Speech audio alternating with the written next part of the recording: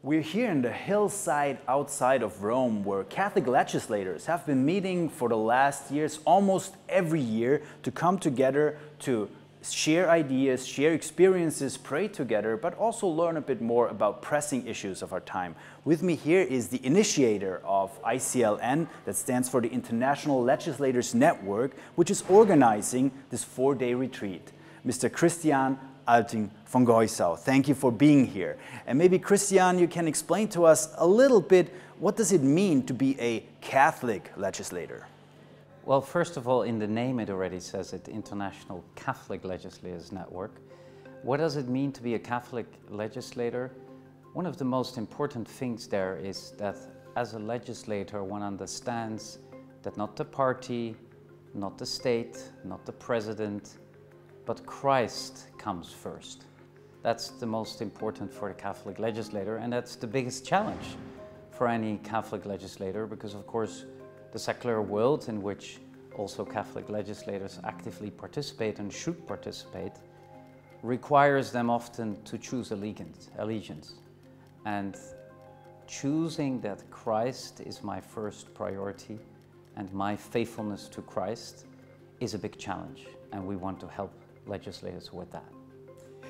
And so this, you say this is a big challenge. Yes. Um, do you also encounter politicians, legislators who come here who, who have this topic, and, and how can they uh, how can they benefit from a meeting like this? What what are they discussing here?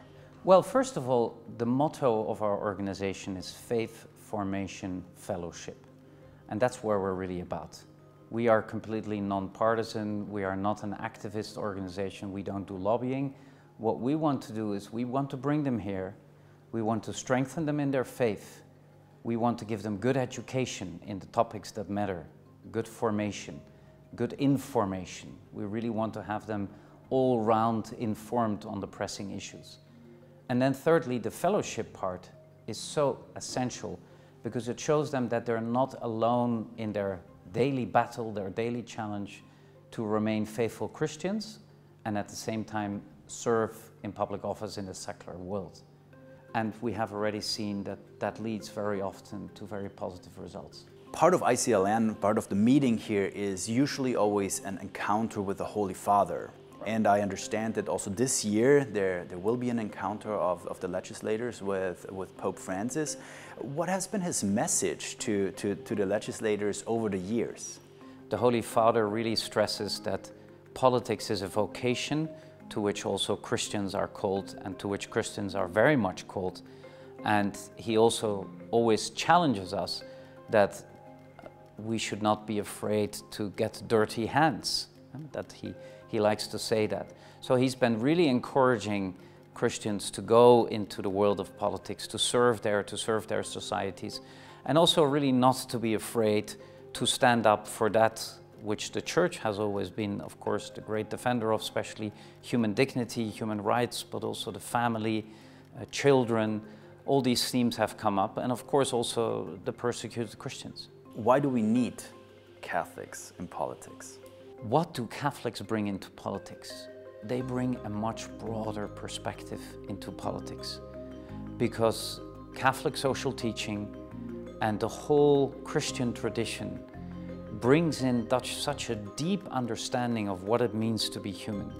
The Church alone, with all its encyclicals, all its other documents that speak about issues that pertain to politics, to society, are so rich.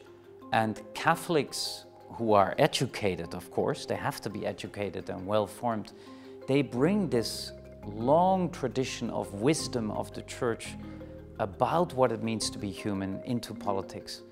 And that can only be good for politics. So it's a broadening of the horizon.